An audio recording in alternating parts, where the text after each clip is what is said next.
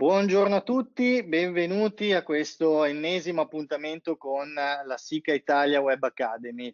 Eh, molti di voi ci seguono ormai da, dall'inizio di questa, di questa, avventura che con eh, Peredicom è iniziata già a fine gennaio, diciamo, con, con i primi appuntamenti eh, in formato web conference, ma con SICA Italia eh, è cominciata già ben da eh, fine marzo, se non ricordo male, quindi eh, l'ennesimo appuntamento che stiamo portando avanti.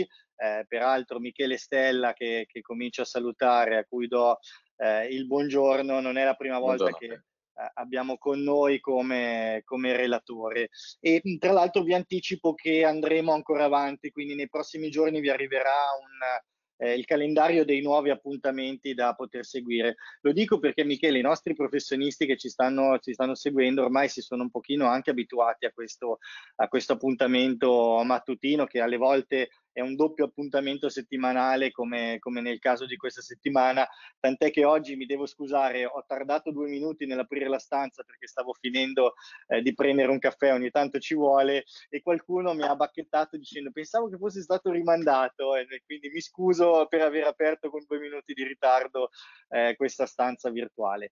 Eh, detto questo, allora, prima di introdurvi all'argomento di oggi, ricordo al solito come eh, funziona un po' la diretta che eh, ci accompagnerà per eh, un'ora e più eh, da qua in avanti. Ehm, è una diretta che fondamentalmente ci dà eh, l'opportunità di, di, poter essere presenti con, con, questa formazione in qualsiasi angolo d'Italia, quindi immagino che ci siano persone che ci stanno seguendo un po' da ovunque, magari anche qualcuno anche dall'estero, perché è già capitato che magari abbia trovato sui nostri canali queste interessanti opportunità formative arriva anche da, da, posti distanti. Forse il più distante che abbiamo avuto è stato dalla Colombia eh, settimana scorsa. Eh, ma l'altra opportunità che ci dà questo strumento è quello di interagire in maniera concreta e quasi più forte rispetto a un'aula tradizionale fondamentalmente. Questo come si fa? Si fa con il pannellino di GoToWebinar, software che stiamo utilizzando per, eh, per queste e per tutte le dirette che, eh, che facciamo, ehm, attraverso il campo chat domande.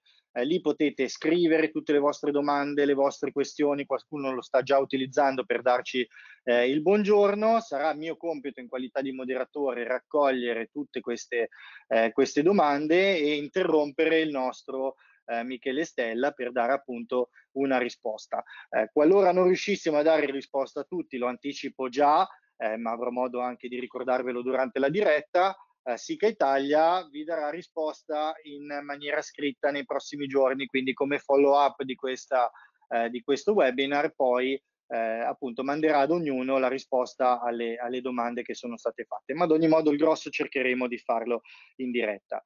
Eh, veniamo all'argomento di oggi. L'argomento di oggi, eh, per chi era presente già all'appuntamento di ieri, va a completare un pochino un percorso dedicato all'impermeabilizzazione delle coperture piane.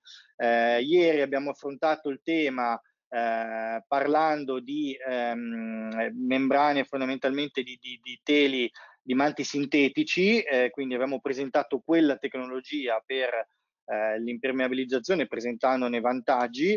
Oggi vediamo un'altra tipologia che è fatta con impermeabilizzanti liquidi, quindi vedremo eh, qualcuno ieri ci chiedeva di fare un confronto rispetto ad altre tecnologie, avevo detto proprio aspettate domani perché domani vi presentiamo un'altra tecnologia di modo che possiate avere un quadro un pochino un po' più eh, completo ed effettivamente oggi speriamo di potervi, darvi, di potervi dare questa eh, opportunità. Io ho concluso, ho fatto la mia premessa che anche ci consente di eh, poter accogliere anche chi magari appunto si è trattenuto come me qualche minuto in più a bere il caffè, eh, direi di lasciare come sempre la parola a, a, Michele Stella, da qua in avanti Michele, visto che poi mi piace interagire Perfetto. sempre chiamando tutti per nome. Eh, come al solito, eh, una breve presentazione di chi è Sica Italia, specialmente per i nuovi che ci seguono, e poi andiamo diretti sul tema di oggi. Prego Michele. Esattamente, buongiorno a tutti, eh, mi chiamo Michele Stella, appunto faccio parte del servizio tecnico e seguo nello specifico i prodotti impermeabilizzanti liquidi. Eh, due parole, come giustamente ha detto Marco, su chi è SICA per chi non ha seguito gli incontri precedenti.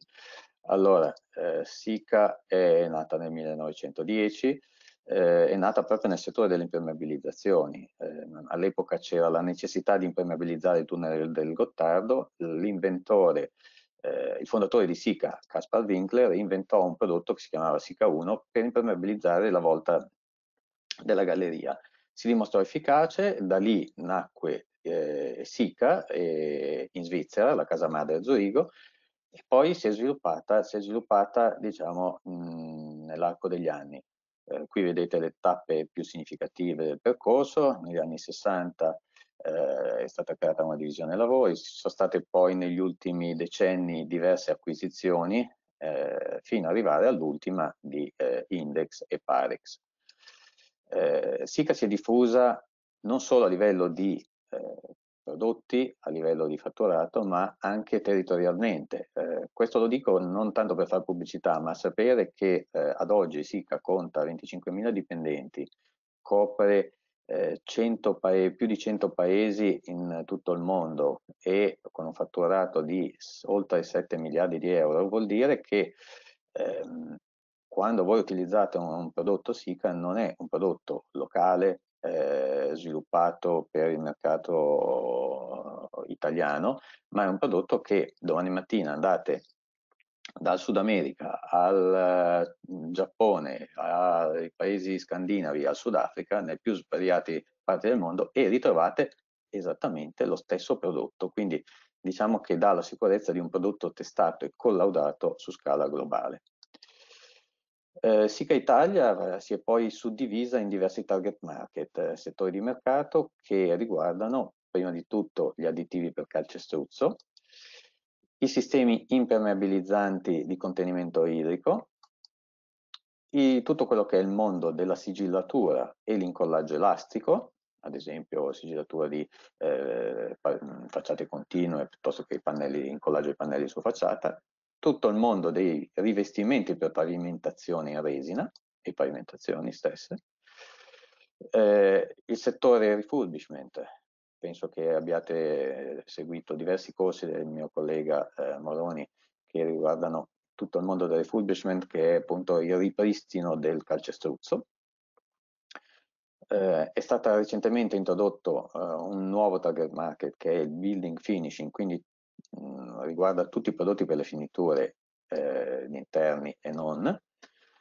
Poi SICA ha un importante eh, target market eh, completamente distinto dal mondo dell'edilizia che è il settore eh, industry, industria, dove eh, SICA offre nell'ambito ad esempio automotive, transportation, ehm, non immaginate quanti metri di sigillante ci sono all'interno della produzione di un veicolo. E infine il settore roofing, roofing che è quello che riguarda più da vicino l'argomento di oggi. Quindi parleremo, abbiamo detto, di ripristino di coperture esistenti, in verità non solo esistenti, ma si possono utilizzare anche per coperture nuove, di nuova realizzazione, con sistemi permeabilizzanti liquidi. Perché si è eh, concentrata l'attenzione sulle coperture esistenti? Per un semplice motivo che SICA ha diversi diverse tecnologie, ieri avete sentito parlare di manti sintetici, abbiamo le membrane bituminose, abbiamo impermeabilizzanti eh, a spruzzo e liquidi. Mm, gli impermeabilizzanti liquidi appunto sono quelli che meglio si eh, prestano all'esecuzione di ripristini di coperture esistenti. Ripeto, non che un manto sintetico non sia indicato, però mh, mm, la, foto, la foto che vedete sopra eh, vi fa capire chiaramente che un sistema impermeabilizzante liquido è più facilmente applicabile su eh, geometrie complesse o in presenza di numerosi attraversamenti, cosa che i manti sintetici o eh, prefabbricati in genere sono più scomodi, tra virgolette, da utilizzare. I campi di applicazione membrane liquide eh, sono i più svariati, si, varia, si va da eh, impermeabilizzazioni di fondazioni, impermeabilizzazioni ad elevata resistenza a abrasione, quindi addirittura anche cavabili, eh, impermeabilizzazioni di tunnel eh, attraversamenti, contenimento idrico, serbatoi, vasche, fino ad arrivare alle coperture che possono essere coperture trafficabili, coperture a tetto verde, piuttosto che coperture direttamente a vista. diciamo che questi sono i campi di applicazione delle membrane liquide. Tra tutti questi i eh, campi di applicazione su cui andremo a soffermarci, eh, a soffermare la nostra attenzione saranno principalmente le coperture, quindi i tetti, tetti piani, tetti inclinati e i balconi. Mm. Ora, due, mm, detto questo, due parole su mm, normative e linee guida di riferimento. Non voglio annoiarvi, non è eh, mia intenzione entrare troppo nel dettaglio, però a mio avviso è fondamentale porre eh, alcuni paletti per definire quali sono le regole del gioco, mi piace dire così, perché? Perché tante volte ci capita la classica domanda, ma quanto dura?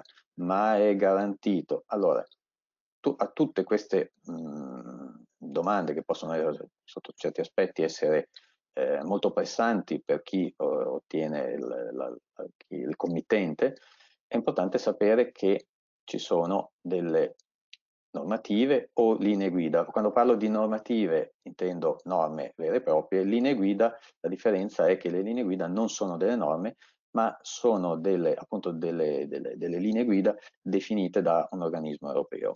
Dopo lo vediamo più nel dettaglio. Per quanto riguarda i balconi, essenzialmente le normative di riferimento sono queste due.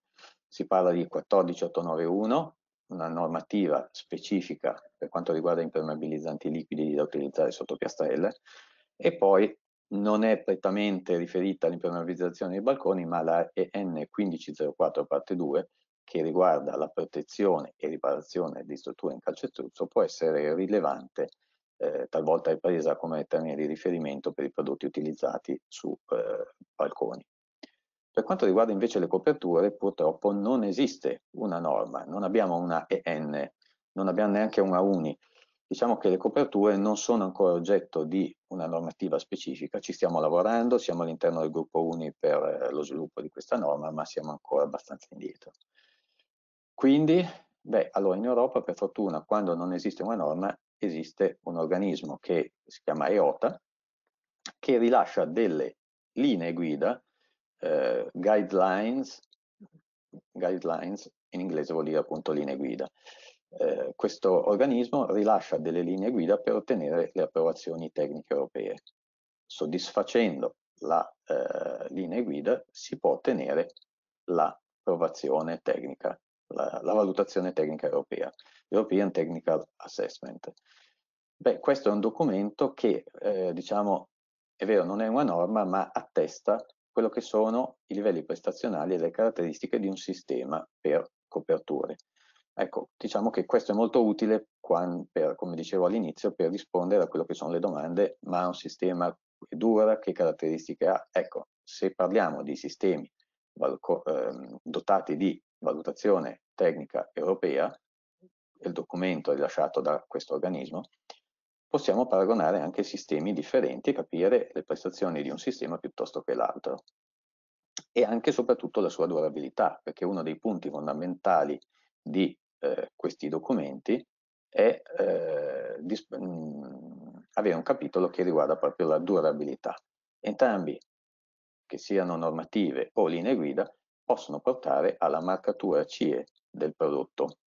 Quindi il fatto che il prodotto sia marcato CE vuol dire che soddisfa o una eh, normativa o una linea guida europea.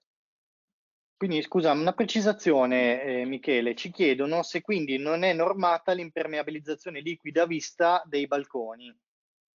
L'impermeabilizzazione a liquida a vista no, non è normata, non è normata e ci tengo a dire, mh, mm, può sembrare banale, ma non è neanche soggetta a una durabilità eh, garantibile, nel senso che eh, io faccio sempre un esempio forse un po' banale, ma dico come, possiamo, come posso io eh, garantirti dopo quanto si usura un rivestimento soggetto ad usura, appunto, che appunto è un, il caso di un balcone, di un'impermeabilizzazione a vista su un balcone, quando non so quanto lo vai a usurare tu. Quindi il, il, il rapporto è, vuole essere molto limpido e serio. Che cosa vuol dire? Quando si parla di coperture, siamo su un tetto, nessuno ci cammina regolarmente sul tetto, i tetti sono considerati sempre ispezionabili, quindi ci si cammina mh, liberamente, ma però per mh, scopi manutentivi. Se invece è libero accesso, ovviamente non è una copertura, non è un tetto. Le coperture soggette a libero accesso, quindi direttamente pedonabili, essendo soggette a questo fattore non quantificabile, che è appunto l'usura, non possono essere soggette a una garanzia di durata, a differenza invece delle coperture non soggette a pedonamento libero, che quelle invece, sapendo perfettamente eh, ed essendoci delle, appunto, come abbiamo visto, lingue, delle linee guida che stimano i livelli di usura derivanti da eh, agenti atmosferici sole, irraggiamento, eccetera, ci sono diversi parametri che permettono di stimare e dare un'indicazione un della durabilità del sistema. Certo, certo, quindi credo che abbiamo fatto questa precisazione. Sì, è molto, eh, molto frequente che eh, i clienti eh, richiedano una durabilità o una, una garanzia di durata. La garanzia si può dare ed è d'obbligo di legge per i sistemi eh, di coperture non trafficati direttamente a vista, eh, mentre invece su strutture direttamente pedonabili diventa impossibile. Certo, certamente, certamente. Prego. Come dicevo, le linee guida, eh, tornando a eh, questi documenti ETA, quindi la, la valutazione tecnica europea rilasciati dall'organismo EOTA, eh, le linee guida specifiche che riguardano il settore di cui stiamo parlando sono proprio, si chiamano ETA, il numero è 005 parte 6, che riguarda proprio gli impermeabilizzanti, i Liquid eh, Applied Roofing Waterproofing Kit, sono i sistemi di impermeabilizzazione per tetti applicati liquidi, quindi è proprio una linea guida specifica e dedicata ai sistemi impermeabilizzanti per tetti, sistemi liquidi impermeabilizzanti. E come dicevo, questa linea guida prevede diversi capitoli, con, eh, vengono analizzati, an analizzate diverse caratteristiche, ci sono indicati i metodi di prova, eh, è molto dettagliata. Uno dei capitoli, solo a titolo così, di, di, esempio, uno dei capitoli più interessanti, proprio a fronte della domanda che, eh, delle, delle, che viene fatta spesso, quella della durabilità, è il capitolo è riferito ai principali caratteristiche prestazionali e alla cosiddetta working life, quindi l'aspettativa di vita. L'aspettativa di vita all'interno dell'ETAC 005 è catalogata con tre livelli, W1 si intende 5 anni, W2 10 anni, W3 25 anni. Questa gialla è un esempio di etichetta di marcatura CE che voi ritroverete su il packaging dei nostri prodotti. Voi prendete la latta del prodotto, questo nello specifico è il Sicalastic 612, ecco voi ritrovate questa tabellina accanto al marchio CE e uno dei parametri più interessanti è appunto, come dicevo, questo. Il, questa sigla W2 riferita alla ETAC 005, quindi la norma, fissata la normativa e riferito al prodotto, abbiamo un livello W2. Che cosa vuol dire? Che un organismo esterno, qui indicato con, eh, con questo numero che sta ad indicare l'ente notificatore, e riferito a questo certificato, perché qua c'è tanto di ETA numero e c'è il numero vero e proprio del certificato che oltretutto è pubblico e disponibile.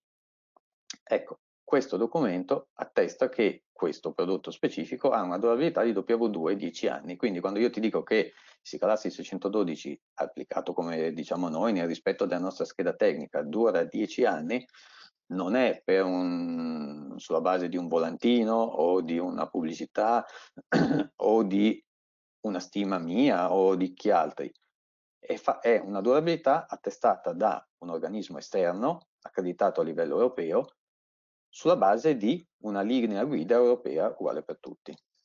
Però questo, scusami, invece, mh, stante il fatto di una corretta posa, di un uso non particolarmente improprio, mi dà comunque una stima a spanne di quando fare, di quando fare un intervento di manutenzione poi programmata, quindi poter programmare diciamo, un ciclo di manutenzione. Assolutamente, assolutamente. Tant'è che spesso e volentieri noi addirittura proprio in quest'ottica consigliamo di applicare il prodotto, siccome tutti i prodotti impermeabilizzanti, tutti a 360 gradi, si consiglia sempre, da, da quelli cementizi a quelli poliuretanici a quelli acrilici, si consiglia sempre di applicarli in due strati, noi consigliamo di applicare il primo strato di un colore contrastante rispetto al, fin, al secondo. Faccio un esempio, se io faccio il primo strato arancione e lo strato a vista bianco perché magari mi serve un'alta riflettanza solare, bene, il mio tetto è bianco a fine lavoro, quando arriviamo allo scadere dei 10, 5, 25 anni che siano, io mi aspetto non che il mio tetto perda, ma che il mio tetto da bianco che era inizi a diventare arancione. Questo vuol dire, è anche un campanello d'allarme per dire attenzione, avevamo stimato una durabilità di 10 anni, siamo arrivati alla fine, prima che il tetto perda le proprietà di impermeabilità, perché di solito noi attribuiamo allo strato di fondo l'impermeabilità e allo strato superficiale di finitura la resistenza ai raggi UV. Viene meno lo strato superficiale, ok? Non vuol dire che il tuo tetto sta, sta perdendo o che è a rischio di perdite, ma vuol dire che è venuto meno quello che è lo strato di protezione. Quindi arrivato allo scadere di 10 anni sarà sufficiente intervenire con una, una nuova applicazione di che cosa? Del 50%, cioè lo strato superficiale, non di tutto il sistema. Certo, rimani un attimo su questa slide perché ci chiedono sopra la, il codice che c'è sopra la scritta ETAG cosa rappresenta? Il codice del prodotto in quel caso? Esattamente. Ok. Esattamente. Ok? Perfetto, sì sì, non, era già, già sufficiente come risposta, prego. Ecco, qua abbiamo, allora, questa è, come dicevo, l'etichetta che ritrovate sul prodotto, sul packaging che andate a comprare. Ovviamente questa, tutte queste informazioni poi vengono riassunte in maniera più formale in un documento che si chiama DOP, se volete, dichiarazione di prestazioni, che diciamo riassume, mm, anzi descrive in maniera mh, mm, più, più ampia quello che era riassunto in quell'etichetta. Quindi c'è appunto il codice di riferimento, eccolo qua, che, aveva, che mi avete chiesto, c'è la normativa di riferimento utilizzata, c'è l'ente notificatore e poi ci sono le caratteristiche prestazionali. Qua vedete il W2 e il livello. Ecco, questo è per, per dire che tutte le caratteristiche indicate sono quando io appunto eh, dico che un sistema ha una durabilità di 10 anni, lo dico perché ho un documento, è scritto e posso, questo documento viene rilasciato, timbrato e firmato da me e dal direttore generale, dove le caratteristiche sono attestate ai livelli che abbiamo detto. Veniamo ora alle eh, membrane liquide in termini generali. I vantaggi. Come ho detto, sicuramente le membrane liquide, da queste foto si capisce che sono particolarmente vincenti ed efficaci quanto più la copertura è soggetta ad attraversamenti e eh, corpi passanti, appunto, o irregolarità della struttura. Eh, sicuramente intervenire con una guaina bituminosa o con un manto sintetico su una copertura di questo genere diventa estremamente complesso, dispendioso, critico con una membrana liquida non dico che sia una passeggiata, ma è sicuramente più semplice.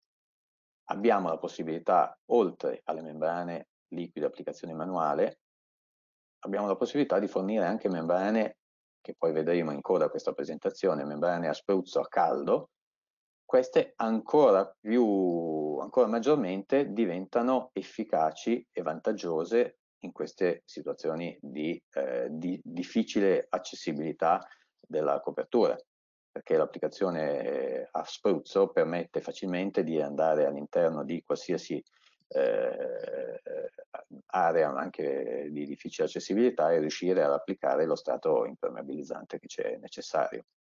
Ecco, questo Quindi. è proprio il riferimento che facevo ieri quando dicevo a, alle persone che ci hanno seguito aspettate domani perché vedremo che ci sono comunque dei vantaggi anche esatto. su, eh, sugli esatto. altri sistemi dovuti proprio come, come, vediamo in questo caso alla, alla particolarità del, del, supporto che dobbiamo andare a trattare, quindi a quanto esatto. è magari affollato da, da altri elementi. Ecco. E questo deve essere anche la discriminante per scegliere un sistema piuttosto che l'altro, perché, eh, ripeto, SICA ehm, eh, con le ultime acquisizioni diciamo che può offrire un panorama eh, completo di una gamma completa di soluzioni, dai manti sintetici, a guaine bituminose, prodotti cementizi, a guaine liquide, mh, mm, quelle manuali, quelle a spruzzo, c'è tutto.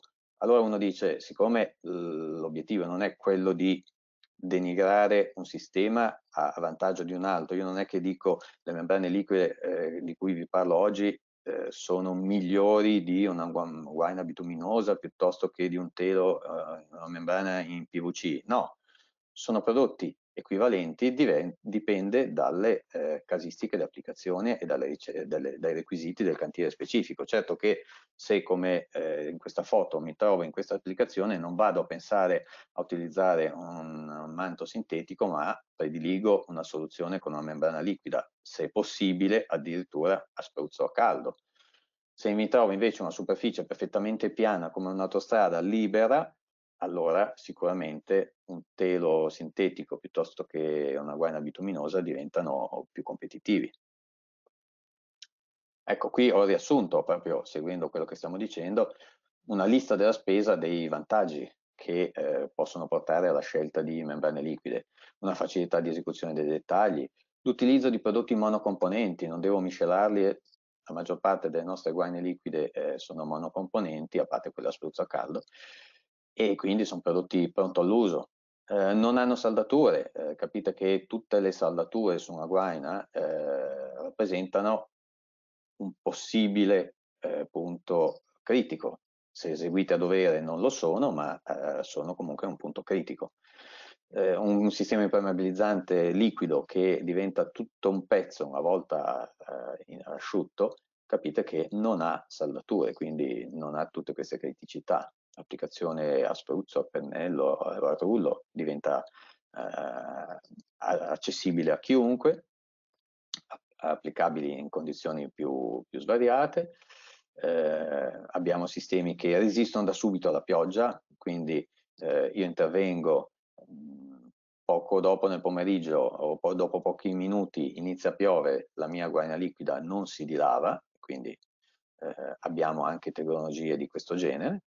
L'applicazione senza fiamme libere, capite cosa vuol dire salire su un tetto eh, con un secchio e un rullo, piuttosto che salire con dei rotoli e eh, attrezzature, una bombola di gas e eseguire delle lavorazioni. In, alcune zone, ad esempio impianti industriali o, o scuole, eccetera, tutte volte non, non è addirittura ammesso ciò facilmente riparabile e rinnovabile. Le guaine liquide, come dicevamo all'inizio, arrivate a fine vita sono facilmente rinnovabili sostituendo semplicemente la, lo strato superficiale o se danneggiate sono riparabili perché si saldano con se stesse.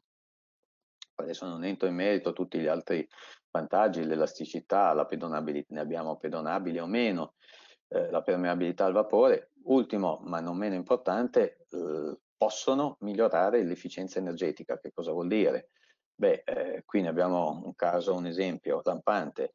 Qui stiamo parlando di un stabilimento, mh, mm, siamo sopra uh, al lago di Como, a Gordona, dove c'è lo stabilimento, questo è lo stabilimento Sperlari, e eh, la copertura aveva bisogno di essere eh, impermeabilizzata si è scelto di intervenire anche con una finitura ad alta riflettanza solare e vi dico questa foto, questa, mia, questa è la mia mano e mh, mm, devo dire sono rimasto anch'io impressionato a vedere che il termometro laser puntato sulla guaina bituminosa segnala 70 gradi e il termometro puntato sullo strato ad alta riflettanza solo 40. Capite che questa differenza di, di temperatura eh, può voler dire molto in termini di costi di raffrescamento delle strutture eh, sottostanti. Tenete conto che questi che vedete bianchi sono 800 metri quadri, il capannone erano circa 8000 metri quadri in totale. La committenza eh, due, due, riflessioni le fa nel momento in cui si accorge che eh, l'elevata riflettanza permette di evitare il surriscaldamento della copertura. E tutto questo poi si concretizza nel sistema cosiddetto cool, cool roof. Eh, esistono diverse documentazioni, eh, abbiamo anche un, una brochure da cui è tratta questa slide, dove è stato addirittura in Svizzera eseguito un, un, un esempio, un monitoraggio su un caso reale per vedere in termini di eh, euro, proprio qua si parla di 41.700 euro, si, si, è fatto un conto economico per andare a determinare esattamente quanto sia eh, il risparmio economico qua nell'arco di 25 anni, adesso non entro in merito, ma qui è stata fatta una, una, simulazione per valutare su questo edificio nell'arco di 25 anni quanto sia il risparmio economico in termini di costi di affrescamento. Quindi anche questo è un aspetto importante. Allora, questo è già una, una, un argomento comunque che avevamo anche approfondito ieri con, sì, con, l'altra, con l'altra tipologia delle membrane. Io ti ho interrotto perché in realtà stanno arrivando tantissimissime domande proprio, in cui secondo me, già come era un po' successo ieri, dobbiamo fare un attimino di chiarezza eh, quindi gettare dei paletti un attimino per quanto riguarda, partendo proprio dal supporto, perché eh, allora ieri eh, era stato trattato poi appunto mh, con le domande il, il tema di come doveva essere trattato il supporto iniziale. Qua stanno invece arrivando delle domande che vanno un pochino magari eh, anche eh, chiarite, nel senso ci chiedono se è applicabile su manti in tegole, per esempio questa allora, soluzione? Diciamo che come tipologia di supporti le membrane liquide possono andare ovunque. Si va dalle vecchie guaine, eh, i vecchi manti in PVC, eh, le, un massetto impermeabilizzato con uh, un impermeabilizzante cementizio, classico impermeabilizzante cementizio. Si può andare anche su supporti eh, in laterizio, tegole o cose di questo genere, sinceramente lo sconsigliamo. Lo sconsigliamo per un motivo banale, ma se ci pensate abbastanza eh, evidente. Su una tegola, la tegola è fatta per lavorare a, eh, a sbalzo in modo che l'acqua scorra su una superficie e man mano a balze scenda a valle e scorri fuori. Le, lo, lo strato in tegole non è impermeabile, perché le tegole tra una e l'altra non sono impermeabilizzate, l'acqua libera di scorrere anche parzialmente al di sotto delle tegole, no?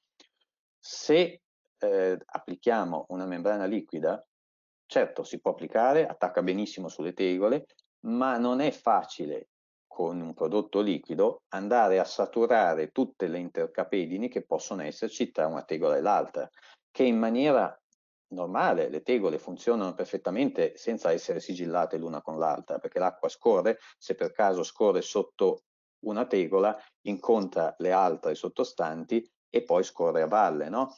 Se tu applichi una membrana liquida su tutta la superficie delle tegole, a volte è capitato che hai l'effetto opposto, nel senso che l'acqua che magari in alcune zone riesce a filtrare sotto le tegole, se poi arriva sotto e non riesce a sfogare perché sotto tu hai messo una membrana liquida, fa un effetto sacco che una volta pieno ti riversa l'acqua all'interno.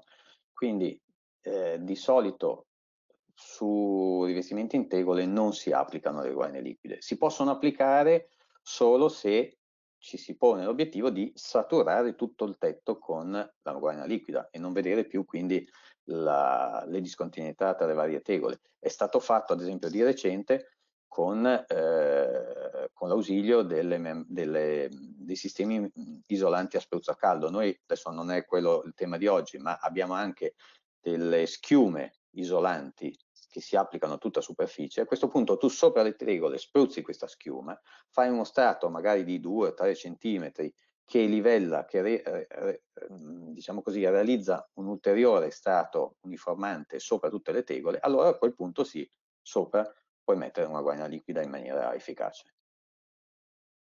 Spero di, di, di aver chiarito quello che è. Oh, ok, allora sì, hai chiarito, anche se devo essere sincero, ne stanno arrivando tante. Vediamo però di, butto lì proprio qualche domanda eh, a cui magari ti chiedo una risposta secca. Mi chiedo scusa se interrompo adesso con queste domande qua, però secondo me deve essere no, un no, attimino per dare, certo. per dare, una chiarezza delle cose. Allora, eh, ci chiedono, tu hai detto sì, la tegola sì, però con determinate caratteristiche. L'altra domanda che arrivava è se assecondano il naturale movimento della struttura sottostante o se si verificano microlesioni, veicolo di infiltrazioni di acque meteoriche. Questo chiaramente vale più sì. per determinati tipi di supporti che sono più soggetti a movimenti di questo tipo. Certo, Quindi sono allora, in grado di assecondare? Assolutamente sì. Parliamo di membrane liquide elastiche, quindi ad elevata elasticità. Non parliamo di prodotti cementizi, non parliamo di prodotti acrilici, la maggior parte delle nostre guaine liquide sono a base poliuretanica, abbiamo anche la gamma di prodotti acrilici, ma eh, entrambi, sia acrilici che poliuretanici, ad elevata elasticità e capacità di far ponte sulle fessure. Poi è ovvio che se la struttura eh, si, si, muove in maniera anomala, anche queste possono essere soggetto a fessurazioni, ma sono comunque in grado di assecondare tranquillamente i normali movimenti della struttura. Ok, allora un'altra domanda che ha a che fare con questo aspetto qua eh, allora, è duplice la domanda, cioè ne sono arrivate sì. due, ma vedo di fare un attimino una sintesi. Eh, si possono applicare anche al di sopra di una pavimentazione ingresso? E aggiungo sì. un altro pezzo di domanda, aspetta, che era arrivata prima e ci chiedono se è anche una versione trasparente. Allora, eh, entrambe sì, si possono applicare sul GARES. Ovviamente eh, il GRES, essendo porcellanato, essendo comunque eh, molto chiuso in superficie, richiede mh, idonei sistemi di pretrattamento che nel caso del, del, del, de, delle guaine liquide colorate la cosa più semplice è una leggera abrasione, la, la, cosa più semplice ed efficace è una leggera abrasione. Per quanto riguarda invece quelle trasparenti, non potendo fare un'abrasione, perché sennò non, non ha senso il trasparente, perché si andrebbe a danneggiare la, l'aspetto estetico della piastrella, nel caso trasparente esiste un apposito primer che permette l'adesione della guaina liquida anche su supporti porcellanati. Ok, allora adesso facciamo andare avanti il nostro Michele. Stanno arrivando tante domande su casi specifici, lo posso usare in questa situazione, lo posso usare in quest'altra. Allora, io visto che sono tante, cerchiamo se possibile di rimandarle alla fine, quindi voi le scrivete, io le catalogo un attimino e vediamo se magari c'è mhm. tempo di farle alla fine. In alternativa, il caso per caso di utilizzi di questo genere viene comunque risposto poi eh, in formato scritto via posta elettronica nei prossimi giorni. Quindi la risposta, anche se non data oggi per motivi di tempo, ovviamente la ricevete, però direi di lasciare andare un pochino avanti adesso il nostro Michele. Prego. Bene. Venendo a quello che è l'aspetto prettamente pratico, di cosa parliamo? Abbiamo detto una guaina liquida applicata eh, a spruzzo o manualmente. L'applicazione che cosa comporta? Eh, le guaine liquide manuali nostre richiedono sempre tassativamente, ad eccezione di quelle trasparenti, eh, la stuoia di rinforzo. Si parla di una stuoia di rinforzo in fibra di vetro, che vedete qui, viene applicata eh, su uno strato di prodotto, quindi si applica il prodotto, si applica la stuoia, soprattutto prima di, primariamente in corrispondenza dei raccordi parete e pavimento e poi a tutta superficie applicata su uno strato di prodotto liquido appena ancora fresco, appena applicato e poi successivamente viene, data, viene impregnata e poi data la seconda mano di guaina liquida. Un'applicazione molto semplice, eh, adatta ad applicatori più o meno professionali anche. Eh, come dicevo, la stuoia è una stuoia in fibra di vetro da 225 grammi, la, si chiama, il nome e cognome è Sica Remat Premium, ehm, Oh, ci tengo a eh, spendere due parole su questo, su questo accessorio perché eh, in passato abbiamo riscontrato che eh, come altri mh, mm, abbiamo trovato grosse difficoltà nell'utilizzo dei classici tessuti non tessuti che utilizzavamo anche noi all'inizio perché il tessuto non tessuto è un ottimo rinforzo ma nel momento in cui ho una piccola irregolarità del supporto va tagliato, va fatto un lavoro di sartoria ed è difficilmente eh, adattabile a supporti regolari, ad esempio un, una struttura circolare piuttosto che un, un camino. Diventa estremamente complesso andarlo a raccordare. La stuoia in fibra di vetro che vedete qui, una volta impregnata nel, nel prodotto, le fibre si liberano e facilmente possono essere modellate intorno a qualsiasi forma. Posso fare anche la forma di un vaso, per assurdo, senza, eh, o di un camino che si raccorda a un, una struttura a pavimento. Altro elemento fondamentale è eh, consumo, spessore, durabilità. Abbiamo detto che eh, ci sono dei parametri eh, molto chiari, le linee guida danno una classe di durabilità, ad esempio W1, W2, W3, che è riferibile a 5, 10, 25 anni. Bene, tutto questo è inevitabile che deve essere collegato ed è collegato a uno spessore, cioè il mio materiale ha ottenuto una classe, mettiamo, di eh, W2 10 anni, ma perché io ho mandato a testare un determinato spessore.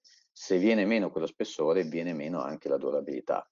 Ecco, come faccio a garantire lo spessore su una copertura? Un, uno stratagemma abbastanza banale ma uh, abbastanza efficace è quello di suddividere la copertura in, in aree e distribu distribuire le latte di prodotto che devo applicare su questi riquadri e sapere che la latta deve essere consumata in questa zona.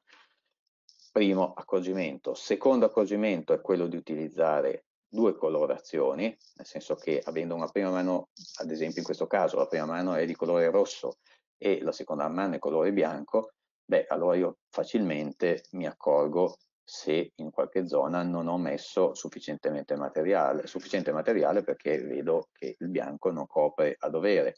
Eh, vi garantisco che su una copertura d'estate al sole fare due mani di colore bianco, sfido io a riuscire a capire se in una zona tu hai già messo o no il prodotto. Tante volte è estremamente difficile e soprattutto di identificare il quantitativo. Avendo questa accortezza eh, sicuramente è più facile accorgersi del corretto consumo. Ehm, un altro eh, elemento importante... Scusami, aspetta, ma esistono anche perché ieri poi rispetto a queste tecnologie per misurare corretto, la corretta posa e lo spessore erano arrivate domande eh, se su superfici più grandi esistono anche delle prove strumentali eventualmente. Sicuramente sì, la prova strumentale però è invasiva perché prevede un saggio, quindi un, una carottatura, un taglio di un piccolo tassello di materiale per andare a vedere il film secco di materiale applicato che spessore ha.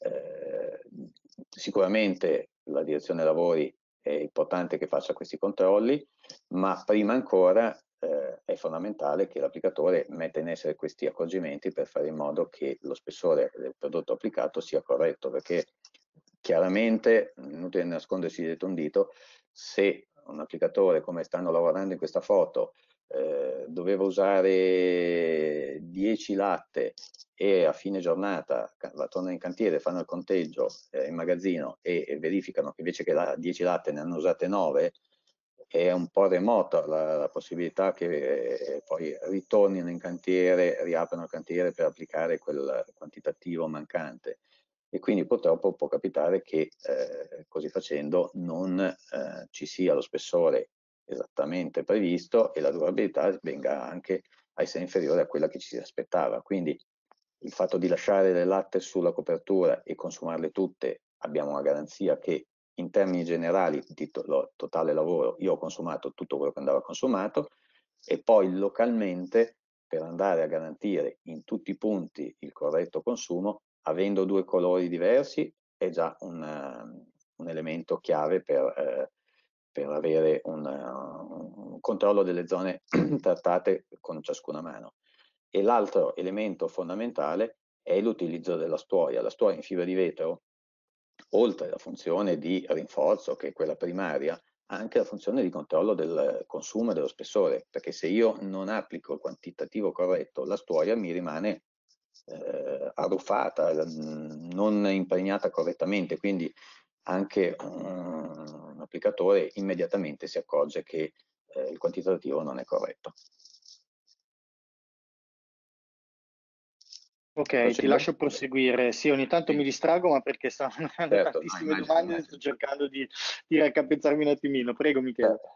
Eh, un altro elemento chiave, perché uno, eh, un applicatore può mettere in essere tutti questi accorgimenti, queste attenzioni, ma eh, è altrettanto importante che eh, si prenda cura di quelle che noi chiamiamo terminazioni, cioè ehm, predisporre idonei raccordi con le esistenti strutture. Se io ho la superficie del pavimento e poi una parete, mettiamo caso come in questa foto di eh, mattoni, è chiaro che con la pioggia i mattoni possono eh, impregnarsi di acqua e eh, nella parte sottostante buttare fuori dei sali.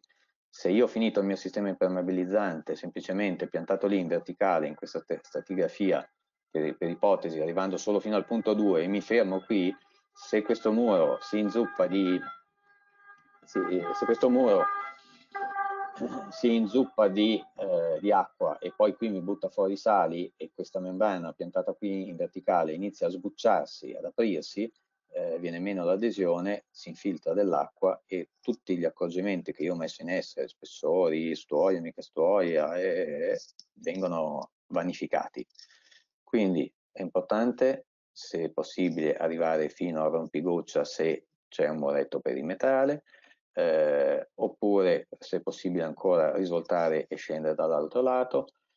Un sistema indicato in questa foto è quello di fare, quando possibile, non sempre si può fare, ma se possibile fare un taglio all'altezza, oltre a quella che è dell'altezza del livello del troppo pieno, per far risvoltare all'interno la mia membrana liquida, vedete qua in verticale, sale, risvolta nel taglio, poi io vado a sigillare con un sigillante il taglio, ma a questo punto io ho la certezza che il finale terminazione cosiddetta della mia membrana liquida è in condizioni di sicurezza. Comunque tenete conto che SICA è in grado di fornirmi un'ampia gamma di disegni e stratigrafie che vanno a, diciamo, a guidarvi per quello che è eh, l'ottimale eh, stratigrafia e progettazione di dettagli. Qua vediamo il classico attraversamento eh, piuttosto che piuttosto che il raccordo con strutture metalliche. Una casistica abbastanza frequente è quella di utilizzare le guaine liquide per eh, ripristinare l'impermeabilità di coperture metalliche. Ecco, tenete conto che in quest'ottica la guaina liquida è molto efficace, ehm, non richiede neanche l'utilizzo di eh, stuoia in fibra di vetro, ma è fondamentale trattare i sormonti sormonti come? Perché eh, siccome l'elemento metallico è soggetto all'estate e all'inverno con la forte escursione termica a dilatazioni importanti e i giunti qua, qua diciamo schematizzati sono soggetti a forti movimenti, le guaine liquide richiedono particolari accorgimenti, cioè l'interposizione di un uh, nastro butilico, qua indicato in azzurro, che permette lo scorrimento della guaina liquida, fa ponte, diciamo così, sulla giunzione, e poi quello qua schematizzato in nero, un rinforzo elastico, il cosiddetto per noi il nome commerciale si chiama flexi, eh, flexi tape, flexi tape heavy. Diciamo che è una, un rinforzo che a differenza della sua in fibra di vetro che è tendenzialmente rigida, il Flexi Tape Heavy è un rinforzo elastico che in abbinamento col nastro butilico permette di far ponte sulla zona di forte movimento. Questo si usa anche per il trattamento di giunti strutturali? Assolutamente, sì. sì, sì. Ok, perché era un'altra domanda che è arrivata come si trattano quelli, quegli aspetti. Poi ad occorrenza abbiamo anche altri sistemi aggiuntivi, ma non entro in merito, del, dei nastri di diverso genere. Comunque tendenzialmente a livello di copertura si interviene come schematizzato qui. Poi all'occorrenza abbiamo anche altri nastri a disposizione. Ok, perfetto. Tutte queste indicazioni comunque che vi sto dicendo le riportate, per, le trovate riportate per filo e per segno sulle nostre schede tecniche. Le nostre schede tecniche Tante volte possono sembrare un po' noiose perché sono molto lunghe e eh, prevedono tutti questi eh, accorgimenti. Ciò che non è riportato all'interno delle schede tecniche, che ultimamente sono state leggermente accorciate, ma tutti i contenuti che non, ehm, tutti questi accorgimenti, questi diciamo, trucchi che vi sto eh, dicendo, questi accorgimenti, li trovate nei cosiddetti method statement. Method statement è un documento di diverse pagine che prevede tutti gli accorgimenti per il corretto utilizzo di un prodotto. Quindi insieme alla scheda tecnica il method statement è l'altro documento che permette l'ottimale utilizzo dei materiali. Poi per guidare il progettista o l'utilizzatore a una corretta descrizione dell'intervento abbiamo i cosiddetti capitolati tecnici standard. Un capitolato eh, essenzialmente è più di quello che di solito viene considerato come capitolato, che di solito è un trafiletto con le caratteristiche del prodotto e basta. Qui viene indicato eh, similmente al method statement, ma è indicato in maniera discorsiva, mh, i requisiti e le modalità di intervento per ogni tipologia di supporto. Quindi faccio un esempio, la guaina bituminosa, bene, come deve essere, che caratteristiche deve avere, come devo trattarla e poi le, la, la stratigrafia proprio vera e propria dell'intervento che devo andare a fare. Questi sono tutti documenti disponibili, pubblici, che potete eh, richiedere ed avere. Se poi eh, vi piace essere più autonomi, esiste un portale un sito dove eh, c'è questa app disponibile sia per smartphone sia per tablet, dove una volta scaricata voi potete inserire eh, i requisiti, i, i parametri di eh, tutte le informazioni riferite a un progetto e il sistema vi mette come output un capitolato eh, fatto e finito. Questo riguarda però non solo le guaine liquide, ma riguarda tutti i prodotti SICA. Esiste parallelamente a questo un altro eh, portale che è, qua vedete l'indirizzo SICA Spec, è un'applicazione anch'essa destinata a creare dei capitolati veri e propri. Questa seconda applicazione è più dedicata al mondo degli applicatori specializzati, prevede, è orientata ai sistemi in, eh, con manti sintetici e per quanto riguarda le membrane liquide, alle membrane liquide a caldo, a spruzzo a caldo, o a quelle eh, ad elevate performance. Però diciamo che entrambi i sistemi sono accessibili e attraverso quest, anche attraverso questo secondo sistema si può ottenere come risultato l'emissione di un capitolato tecnico, quindi anche in questo secondo caso vengono richiesti eh, i parametri del progetto, i requisiti e con un sistema di scelta a, a domande eh, il sistema vi porta alla emissione di un capitolato tecnico. Ve li metto magari qua in chat i due indirizzi così li potete sì, ritrovare. Sì, sì, Bene, eh, detta, detto questo, veniamo a due parole in merito ai prodotti eh, su cui focalizziamo l'attenzione, il prodotto vero e proprio.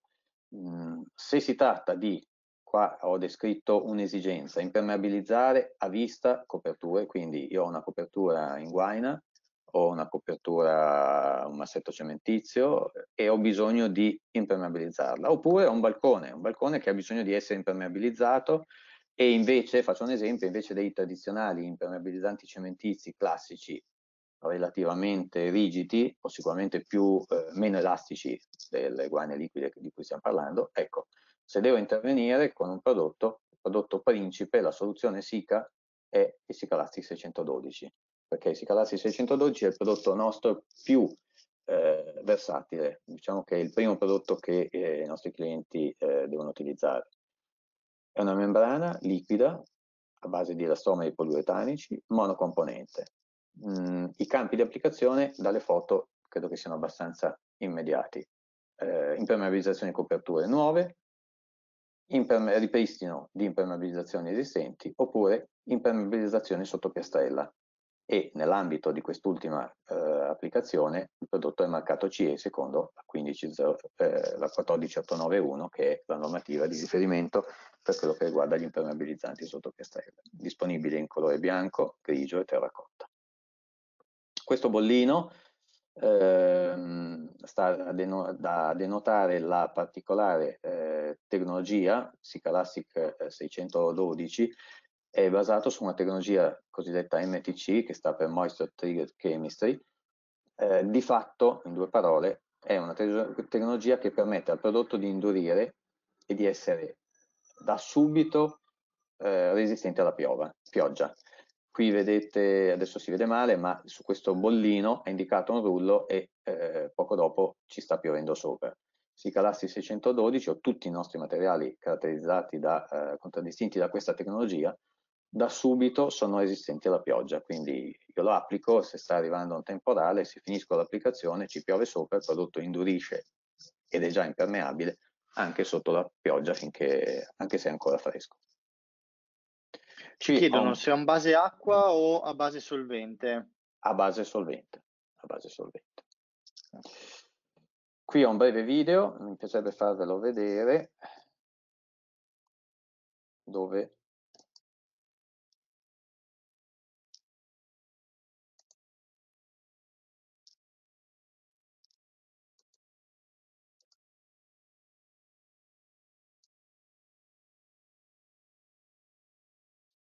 stai vedendo Marco? Si vede? Sì, sì, lo stiamo vedendo e ti sentiamo anche. Ok. Allora, nel video si vede l'utilizzo eh, tipico del Ciclasti 612 per l'impermeabilizzazione, ad esempio, di una vecchia guaina bituminosa, un tetto in guaina bituminosa che perde, io intervengo senza rimuoverlo, semplicemente eh, proteggendo, qua si vede eh, le, le, zone circostanti che non devono essere sporcate con nastro di carta, applicazione della prima mano di prodotto, il prodotto deve essere applicato in abbondanza, per intenderci, la eh, durabilità eh, garantita dei, dei, 10 anni è attribuita a un consumo di 2,8 kg di materiale. 2,8 kg di materiale mi genera 1,4 mm di spessore ed è quello che è stato oggetto di test.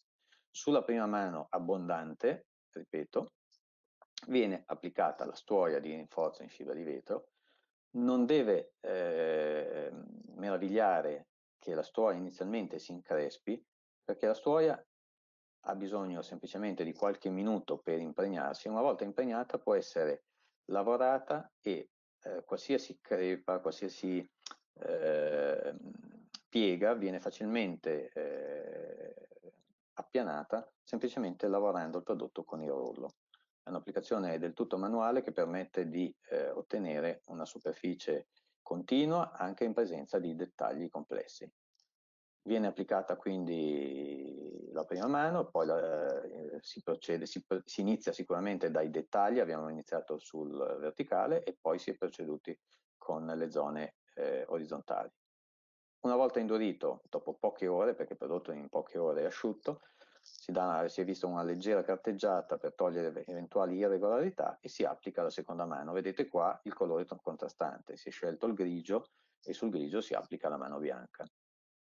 Questo aiuta a controllare lo spessore e la regolarità del, eh, del rivestimento e poi monitorare il, il degrado nell'arco del tempo.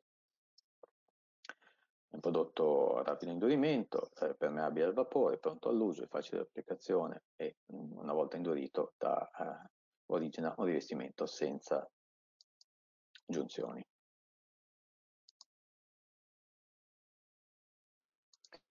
Guarda, nel frattempo che torni alla presentazione, immagino, ci chiedono siamo, sempre scusa? su questo prodotto. Su... Sì, ci siamo, ci siamo sulla presentazione, sì, okay, perfetto. Ci chiedono se può essere usata su tutte le guaine oppure se ha dei limiti applicativi. No, su tutte le guaine.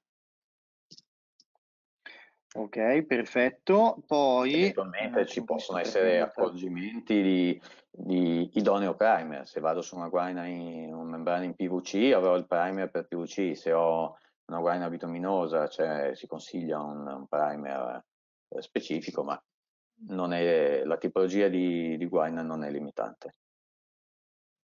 Ok, tempi di pedonabilità. Tu hai parlato di tempi di asciugatura, ma tempi di pedonabilità ci chiedono una volta applicato. Allora, i tempi di pedonabilità sono strettamente collegati alle condizioni ambientali, nel senso che il materiale indurisce principalmente per evaporazione solvente e per reazione con l'umidità dell'aria. Quindi più fa caldo e umido, più l'indurimento è veloce, più fa freddo e secco, più l'indurimento è lento. Tendenzialmente, per, per avere un'idea dell'ordine di grandezza, d'estate, una giornata di caldo, umido d'estate, in due o tre ore io posso eh, di nuovo applicare la seconda mano.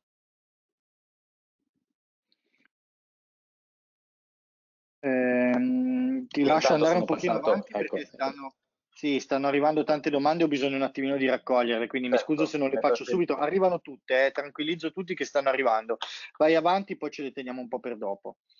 Ok, nel frattempo ehm, qui vedete la, eh, il sistema tipico su membrane bituminose e eh, su, diciamo su tutti i supporti, cioè prevede la prima mano da circa 1,8 kg 1,8 kg è un consumo molto elevato eh, perché effettivamente eh, applicare 1,8 kg di materiale vuol dire mettere giù un quantitativo che nessun applicatore metterebbe se non è stato espressamente invitato a farlo perché eh, mettere 1,8 kg vuol dire avere la sensazione di sbrodolare il materiale. Ecco, il concetto non è che vogliamo spingervi a usare più materiale di quanto ne serva, tanto 2,8 kg totali vanno usate, 2,8 kg a metro quadro vanno applicati. Quindi eh, il corretto modo per poter impregnare al meglio la stuoia è di buttare giù circa 1,8 kg di materiale, impregnare la stuoia e appena asciutto e posso pedonare, o anche il giorno dopo, applicare l'altro chilo che manca. Nell'ambito di applicazioni sotto piastrella, eh, il prodotto viene applicato similmente, ma con la differenza che lo strato impermeabilizzante, essendo molto eh, liscio e gommoso, eh, impedisce un corretta, una corretta adesione del collante cementizio per le piastrelle. Quindi non ci sarebbero problemi di impermeabilità, ma ci sarebbe la piastrella che difficilmente riesce ad avere grip su una guaina elastica gommosa. Quindi come si fa? Una volta applicati i primi due strati, si applica un ulteriore strato a rullo da circa 300 grammi a metro quadro, sul quale si va a seminare della sabbia. Eh, si semina proprio come fosse uno, manualmente, come un'operazione di semina, si, si ottiene quell'effetto, chiamiamolo cotoletta impanata piuttosto che carta vetrata, che eh, una volta tolto l'eccesso di sabbia permette un'ottimale adesione del successivo eh, collante da piastrelle. In questo caso non serve la, la fibra di vetro, quindi quella stuoia ci stanno In questo chiedendo. caso teoricamente non serve, cioè a livello ufficiale noi i test li abbiamo superati senza, qui non è indicata, ma io consiglio, se, eh, se è possibile, comunque di inserirla, perché è un margine di sicurezza in più che si viene a avere e che permette di stare un po' più tranquilli. Non è obbligatoria. Ok, ehm, due domande ancora secche, scusami, non, mm, ci dicono, non vedo mai in queste stratigrafie un primer, seconda cosa ci chiedono quindi su un'applicazione di questo tipo che adesivo uso per incollare le piastrelle. Allora, il primer non c'è perché non è obbligatorio, quindi mh, mm, non è obbligatorio e quindi non, non ha senso eh, d'ufficio indicarlo. All'occorrenza eh, io consiglio sempre di usare un pizzico di buonsenso. Che cosa vuol dire? Io ti dico che il primer non serve perché l'adesione eh, raggiunge i requisiti di sicurezza eh, il prodotto tal quale, senza nessun primer. Certo è che se sto applicando il mio materiale e mi accorgo che per terra c'è un massetto che per diversi motivi si è bruciato, sfarina eh, o ha giù dei residui di, di vecchi collanti, non so, qualcosa, allora in quel caso un primer è consigliabile utilizzarlo. Ne abbiamo diversi, si sceglie all'occorrenza, ma in condizioni normali, mettiamo io vado su un massetto sano o su una guaina bituminosa adesiata sana, il primer non serve. Eh, l'altra cosa che mi chiedevi? Eh, che tipologia di adesivo uso per incollare le piastrelle ah, in un'applicazione sì, di ecco, questo l'adesivo è tassativo che sia almeno un S1, quindi ad elevata deformabilità, perché andiamo con un adesivo sopra a una guaina gommosa elastica, anche il collante da piastrelle è vero che gli abbiamo fatto lo spolvero di sabbia per migliorare l'adesione, ma se il collante è flessibile aiuta meglio a, a sopportare eh, i movimenti dell'intero sistema. Perfetto, ti lascio. Bene, due parole per quello che sono i sistemi a spruzzo a caldo. Allora, sempre rimanendo nel mondo delle membrane liquide, abbiamo detto che disponiamo non solo di sistemi manuali, ma di sistemi anche a spruzzo a caldo. Che cosa sono? Beh, penso che la foto parli abbastanza chiaro. Eh, non sono chiaramente delle tecnologie eh, adatte a operatori non professionali, Eh, quindi parliamo di tecnologie particolari che richiedono un'attrezzatura pompante ded dedicata, eh, un'attrezzatura che deve, eh, deve, essere in grado di eh, portare il, il, prodotto a 70 gradi e a spruzzarlo a circa 200 bar, quindi di pressione, quindi capite la, la, rilevanza dell'apparecchiatura pompante da utilizzare e il fatto che eh, a differenza delle membrane liquide ad applicazioni manuali che possono essere disponibili e trovate anche nell'ambito del fai da te, DIY, mentre invece qui parliamo di applicazioni del tutto professionali, che però possono essere eh, realizzate e hanno anch'esse il loro perché, nel senso che se io devo intervenire su un terrazzo o un piccolo tetto, o, sicuramente eh, il prodotto applicazione manuale è più conveniente, più facile e più versatile. Ma nel momento in cui devo andare a, re a realizzare una struttura complessa, ricca di attraversamenti, e quindi la guaina bituminosa più che il, più che il telo in PVC diventano eh, proibitivi perché non riesco a fare tutto il lavoro di sartoria che eh, mi, mi, è richiesto per andare intorno a tubazioni passanti, eccetera. Bene, e eh, le guaine liquide sono sicuramente vincenti e se ho delle metature importanti l'applicazione a spruzzo, come in questo caso, diventa vincente. Eh, quando si, vede, si vedono operatori che fanno questo tipo di lavorazione, spesso si identifica questa tecnologia con, in maniera volgare, si parla di poliurea. Eh, la poliurea mh, non è detto che sia sempre poliurea, potrebbe essere poliurea, potrebbe essere poliuretano o ibrido. Che cos'è la poliurea? La poliurea è diciamo, un composto chimico nell'astomero eh, che è realizzato dall'unione di, eh, nel, nel, secondo caso, di ammina più isocianato. Sono due componenti, il prodotto è fornito in fusti classici barili da 200 litri, eh, il fusto tendenzialmente di solito è quello rosso, contiene isocianato e il fusto dell'altro colore, che può essere giallo o nero, contiene, se contiene ammina, almeno l'80%, dalla miscela di questi due componenti ne deriva una poliurea pura. Eh, se invece dal eh, primo componente è sempre isocianato, ma nel secondo fusto invece che esserci una polieterammina o un'ammina c'è un poliolo, la miscela dei due componenti mi porta ad avere come reazione un poliuretano. Tutti i composti che sono in mezzo a queste eh, due variabili sono definiti ibridi. Quindi ibrido è un, prodotto bicomponente che ha eh, sempre l'isocianato come reagente, ma l'altro componente non è un poliolo, non è una polieterammina, è un misto tra i due. Questo per dire eh, tendenzialmente che, che cosa sono questo tipo di eh, tecnologie, tenendo conto che la poliurea, nello specifico, quando è pura, quando è definita pura e quindi ha una, sopra l'80% di eh, polieterammina, è anche UV resistente e quindi ne permette un utilizzo eh, anche senza finiture, direttamente lasciata esposta ai, ai raggi UV. Come vi ho spiegato, l'applicazione è molto critica e qui vi ho descritto che cosa, la dotazione, diciamo, la dotazione minima necessaria per poter eseguire correttamente un'applicazione di questi materiali. Che cosa serve?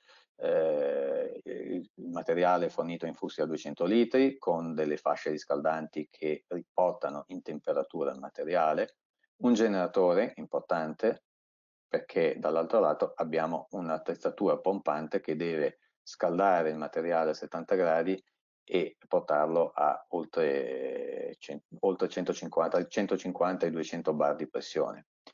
E poi i due componenti, dato che il materiale indurisce in pochi secondi, cioè nelle, nelle membrane manuali parliamo di indurimento di qualche ora, qui parliamo di indurimento in qualche secondo. L'indurimento in qualche secondo vuol dire che i due componenti non possono entrare in contatto prima dell'uscita, vengono tenuti separati, infatti vedete che dalla macchina escono i due tubi, uno blu, uno rosso, e rimangono separati fino alla pistola e i due componenti si miscelano solo in questo blocchetto che è la cosiddetta camera di miscelazione e all'istante vengono sparati fuori a 200 bar. Arrivano sul supporto e all'istante induriscono.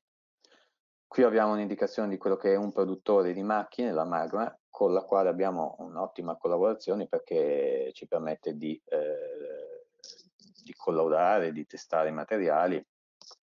Ce ne sono diversi, non abbiamo nessun vincolo, eh, ci sono produttori italiani come loro, ci sono produttori internazionali come Graco, ci sono diciamo diversi produttori di macchine. È importante che l'attrezzatura pompante che si va ad utilizzare comunque sia collaudata e eh, attestata a essere efficace con i nostri materiali.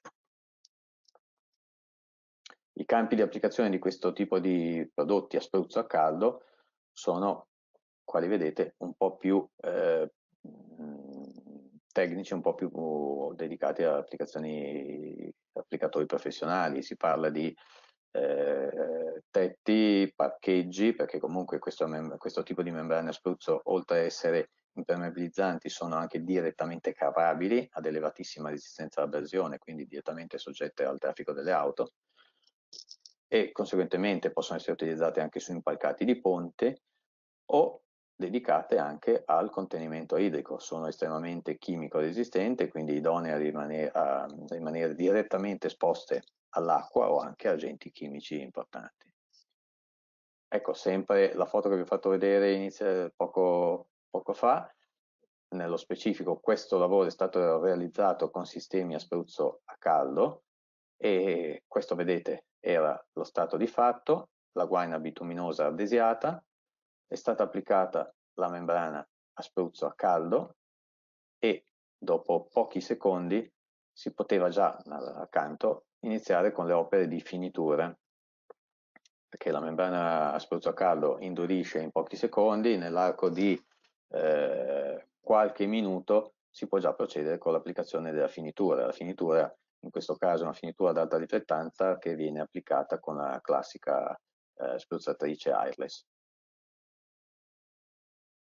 Tenete conto, per capirci, questi erano 800 metri quadri e sono stati realizzati alla mia presenza in una giornata, partendo dalla mattina eh, e neanche tanto presto, perché comunque la mattina c'era tutta l'umidità, la rugiada, quindi hanno dovuto aspettare i primi raggi del sole che scaldassero e si asciugasse la membrana bituminosa, poi è stato applicato il primer e poi eh, la, lo stato impermeabilizzante e la finitura. Il tutto finendo alla sera alle 8 alle 9 1000 metri quadri, 800 metri quadri in un giorno, compreso di stato impermeabilizzante e finitura. Scusa, hai trattato adesso, hai, hai mh, accennato a questo aspetto dell'umidità del, del, supporto. Adesso ritrovo bene la domanda. Eh, sì, eccola qua. Come si asciuga un'eventuale umidità del supporto? Tu li hai fatto accenno ai raggi solari, però ci possono essere delle situazioni dove quello non basta. Come si interviene? Allora, io tendenzialmente sarei portato a dirti eh, se il supporto non è asciutto si aspetta.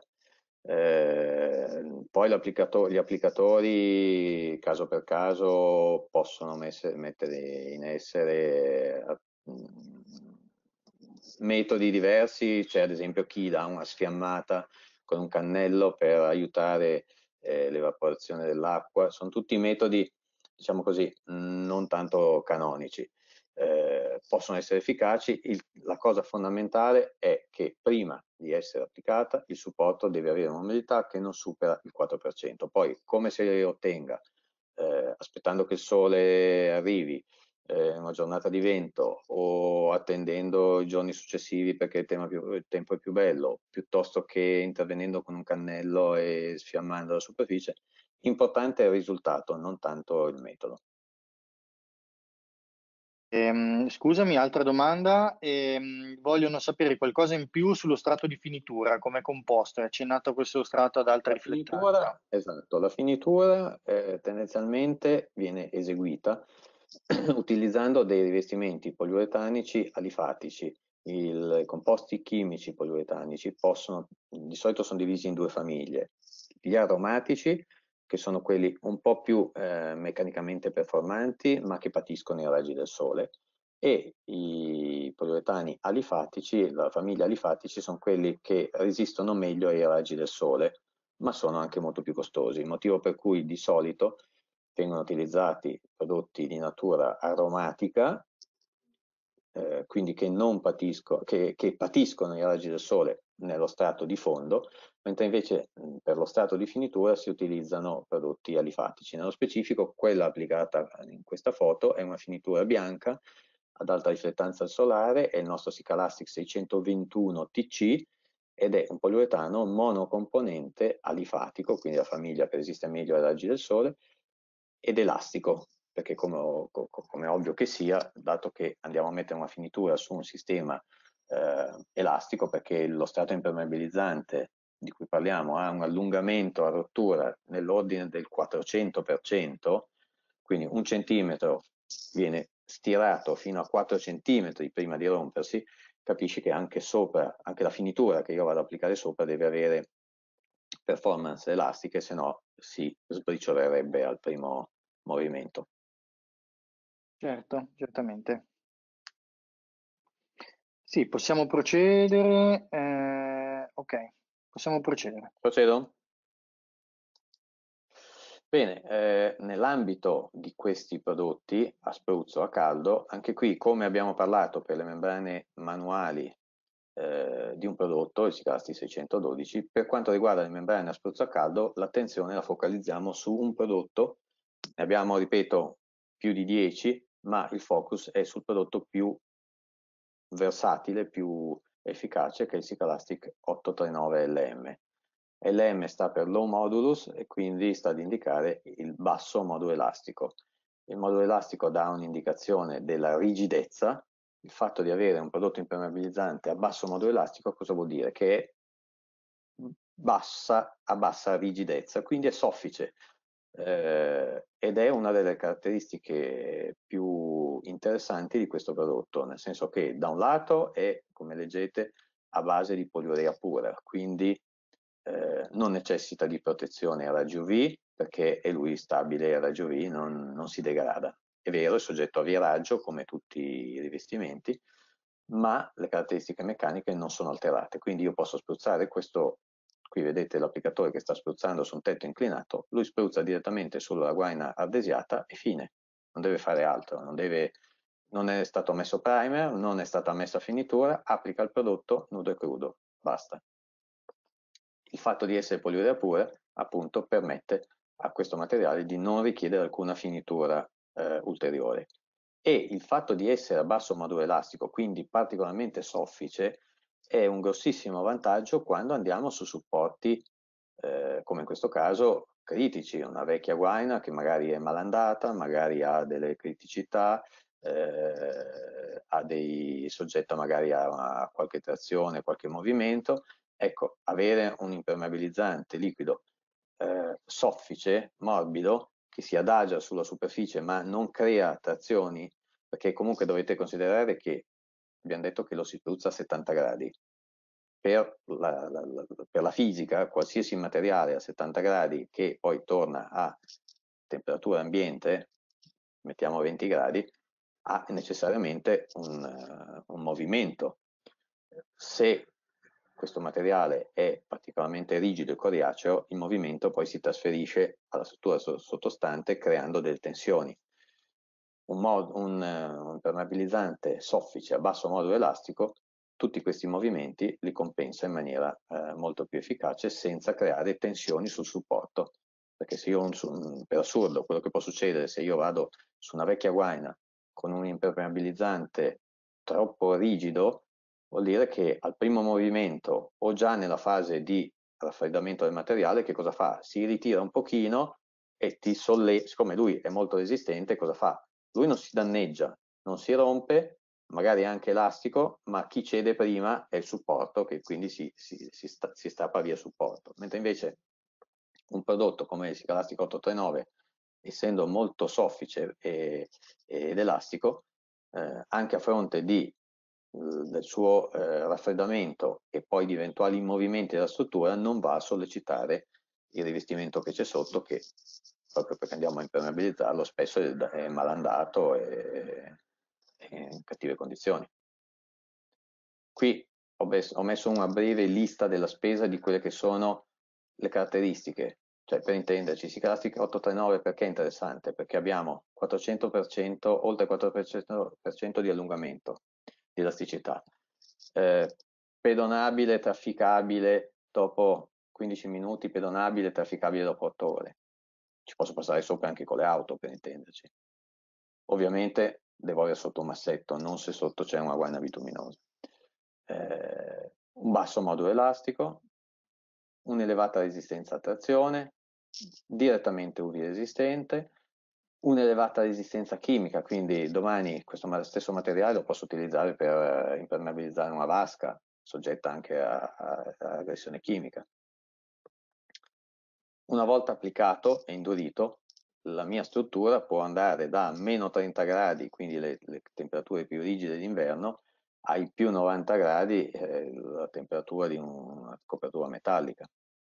Contenuto solido al 100% cosa vuol dire? Che il mio spessore che io vado ad applicare non è che quando poi asciuga si abbassa. 100% solido vuol dire che quello che metto rimane ed è importante anche nell'ottica di garantire spessori minimi. Eh, eh, e conseguentemente è un efficace protettivo del calcestruzzo del marcato CE secondo la 1504 e poi infine l'elevata resistenza all'abrasione lo rende anche direttamente cavabile. Qui vedete la stratigrafia di un possibile sistema. Su una guaina bituminosa cosa faccio? Io qua ho scritto un, un possibile primer, ho messo anche un asterisco per ricordare che il primer non è obbligatorio ma facoltativo, e poi l'applicazione dell'839. 839 con che consumo? Io ho scritto 2000, 2000 grammi, 2 kg.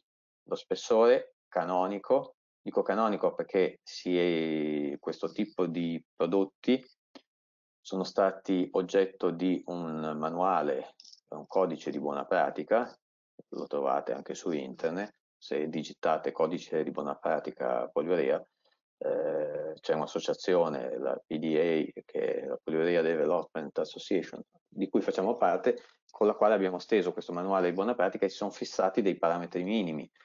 Eh, uno di questi è stato, ci siamo messi d'accordo tutti i produttori e applicatori nel dire che non ha eh, senso prevedere spessori che siano inferiori a 2 mm, quindi il spessore canonico deve essere almeno di 2 mm e conseguentemente 2 kg perché abbiamo un prodotto che ha un residuo secco 100% e un peso specifico intorno a 1. Anche qui, giusto per farvi capire, per toccare quasi con mano quello di cui stiamo parlando, c'è un altro video che vi faccio vedere che molto, diciamo, aiuta a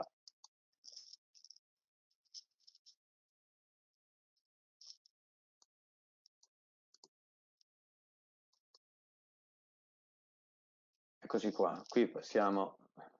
Eh, Marco, mi dici, si vede? Sì, sì, è partito adesso, perfetto. Allora, stiamo, eh, stiamo, parlando di una copertura, una copertura con un uh, tavolato in legno fissato e inchiodato sul quale viene utilizzato, in questo caso è utilizzato non l'839 ma un Sicalastico 851R che è un prodotto non a base poliurea pura ma un prodotto ibrido e quindi necessita tassativamente della finitura, che in questo caso è stata Sicalassi 621 IC. L'applicazione prevede eventualmente, in questo caso è stato scelto di applicare un primer, esistono diverse tipologie di primer, in questo caso è stato utilizzato un primer epossidico bicomponente, si miscelano i due componenti, e poi il primer viene esteso a tutta superficie, su tutte le superfici. Il primer epossidico eh, può essere applicato come in questo caso a rullo, ma eh, non è la prima volta che eh, per motivi di velocità si può procedere anche all'applicazione con una comunissima spruzzatrice airless. Ovviamente eh, stando attenti alle tempistiche perché il prodotto epossidico, soprattutto in copertura con temperature calde, eh, indurisce velocemente. Dopo 12 ore si procede dal primer, si procede all'applicazione dello stato impermeabilizzante, in questo caso Sicalastico 851R. Questa foto l'ho scattata io sul tetto di un importante edificio a Pescara e eh, ecco, materiale fornito in fusti da 200 litri collegati all'attrezzatura pompante. L'attrezzatura pompante può essere mantenuta a terra perché la tubazione di solito si aggira da un minimo di 30 metri fino ad arrivare a 100, quindi vuol dire che io posso, come in questo caso, lasciare l'attrezzatura pompante da basso e intervenire con, eh, con, con, portando la tubazione sulla copertura senza aver necessità di spostare l'attrezzatura pompante. Qui vedete l'inserimento dei pescanti e delle pompanti, le pompe di trasferimento che portano il materiale alla, alla pompante. Il componente, leggete, poliolo, in questo caso, e l'altro è isocianato. Poliolo più isocianato, come abbiamo visto inizialmente, origina poliuretano. In questo caso poliuretano ibrido. Vedete, si procede inizialmente sempre dai dettagli, i dettagli sono la parte che va trattata per prima, e poi, una volta trattato il dettaglio sul quale si dà una mano aggiuntiva di materiale a mo' di rinforzo, poi successivamente si parte con le superfici piane.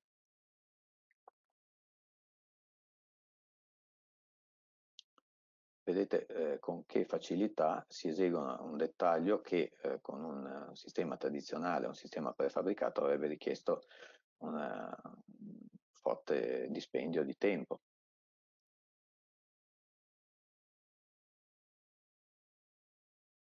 Anche in questo caso è importante controllare il consumo, prima di procedere all'applicazione si va, fanno sempre delle prove di spruzzo su un foglio di polietilene e dato che il materiale indurisce in pochi secondi, eh, immediatamente si può valutare quanto spessore viene originato da ogni passata e conseguentemente si può dosare il quantitativo definendo quante passate realizzare. Poi l'applicazione la, del, della finitura, in questo caso Sicalastic 621 TC, TC sta proprio, proprio ad, ad, indicare top coat, quindi strato di finitura. In questo caso è stata utilizzata una finitura bianca, sempre poliuretano monocomponente alifatico, lo stesso che abbiamo visto su quella copertura bianca del, ad alta riflettanza. In questo caso invece che una spruzzatrice bicomponente viene utilizzata una comunistica una spruzzatrice airless.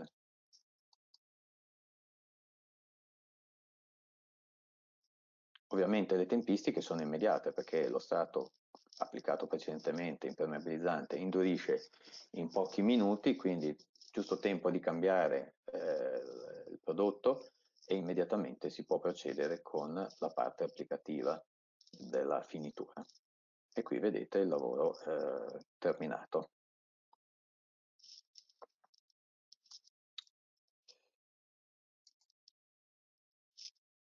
Bene, riprendiamo. Siamo Marco? Paio di, sì, un paio di questioni. Allora, innanzitutto, questi video li possono poi ritrovare su YouTube? Sì, sì, sì, ma direttamente se scrivate, scrivete su YouTube Sicalastica 851, credo che questa immagine che vedete nella mia slide credo che sia il primo video che vi compare. Ma Perfetto. questo anche altri, eh, ce ne sono. Ok, eh, un paio di domande su questa questione, poi ti lascio concludere, le altre le teniamo per la fine. Questo strato che stai facendo vedere di finitura ha una funzione non impermeabilizzante, corretto?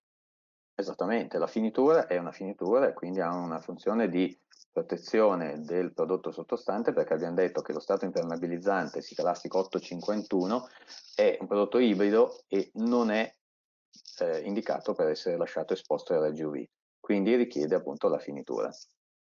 All'occorrenza, se io faccio un esempio, se qui invece che lasciarlo esposto a vista eh, fosse stato tutto riempito con del terreno per mettere delle, del, un tetto verde, non serviva alcuna finitura in quel caso.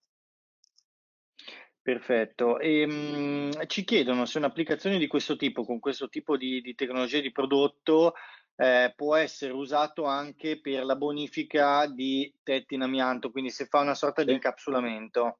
Sì, Sicalastic 851 più eh, un'altra finitura che è Sicalastic 445, ma mh, è del tutto analoga, è certificato anche come incapsulante per il cemento amianto.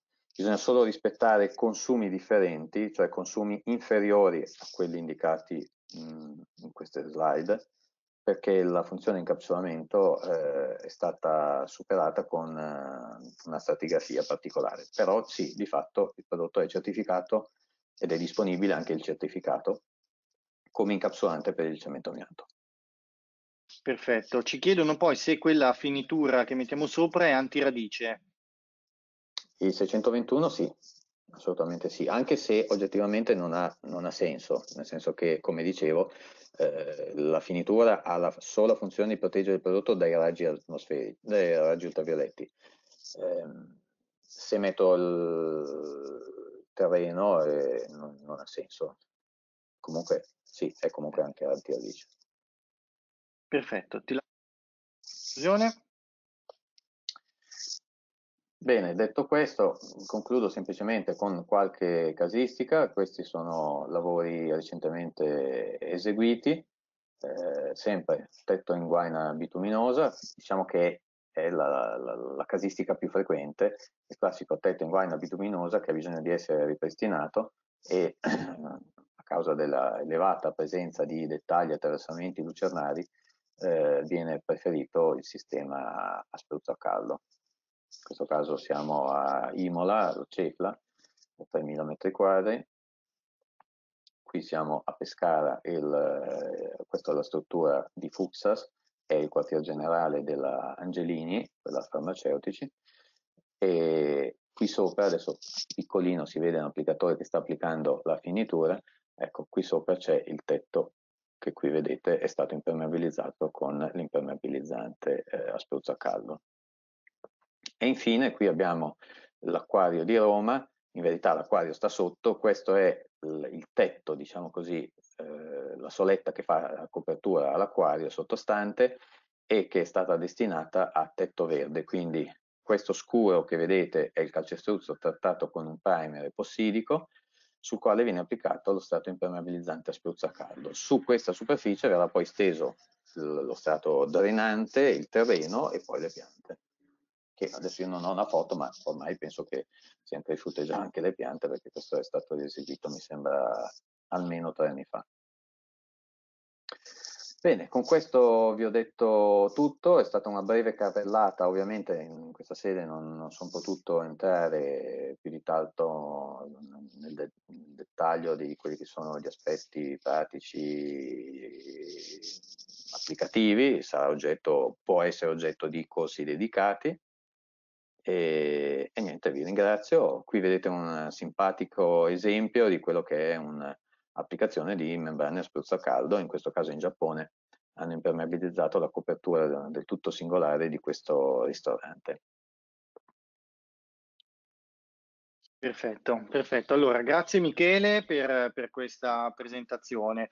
Io andrei veloce su alcune domande. Ti chiedo ovviamente magari di essere anche abbastanza rapido nella risposta, di certo. modo che riusciamo in qualche minuto a dare risposte, poi come dicevo lasciamo a voi dopo dare risposta scritta ai nostri partecipanti. Allora, tu mm, hai concluso dicendo non, per mancanza di tempo non sono riuscito a entrare in alcuni dettagli, però c'è un dettaglio che devo, devo per forza chiederti, te l'ho già accennato prima, ma perché sono arrivate molte domande su quell'aspetto. Mm. Come si trattano i giunti strutturali in, un, in un'impermeabilizzazione a questo punto io ti direi di, di, di farcelo per entrambi, sia col allora, sistema sì. Spray che per quanto sì. riguarda il sistema di prima. Insomma. Mm, diciamo che dipende un po' da quali tipo di giunti strutturali. Faccio un esempio. Eh, vi sarà capitato di vedere eh, magari due edifici attaccati dove in, dove in facciata c'è il classico lamierino, lamierino che, dietro al quale che nasconde il giunto, quello che chiamano giunto tecnico, un giunto strutturale tra i due elementi.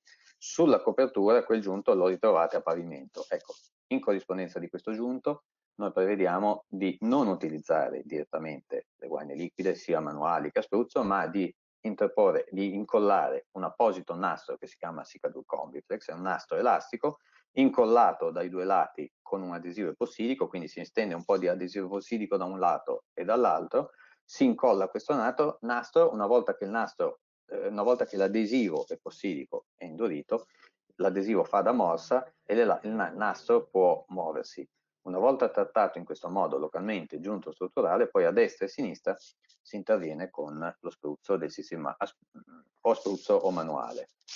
Eh, Questo per giunti strutturali importanti, eh, di rilevante dimensioni e soggetti a forti movimenti.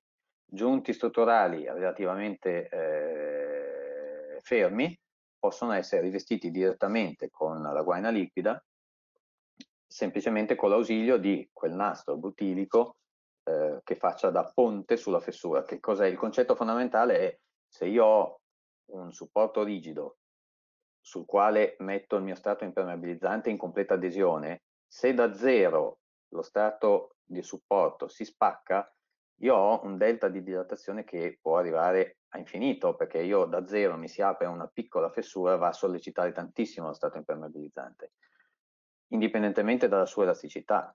Se io invece vado a mettere un nastro anche solo di 5 cm, come il, il flexi strip, il nostro nastro butilico di, che fa ponte sulle fessure, qui abbiamo una distribuzione di, mettiamo un movimento di un millimetro, che comunque potrebbe essere tanto su un, direttamente su un supporto eh, rigido, bene, un millimetro di movimento scaricato su una bandella di 5 cm, capite che il movimento diventa assolutamente, percentualmente, irrilevante e conseguentemente facile da sopportare da parte dello stato impermeabilizzante.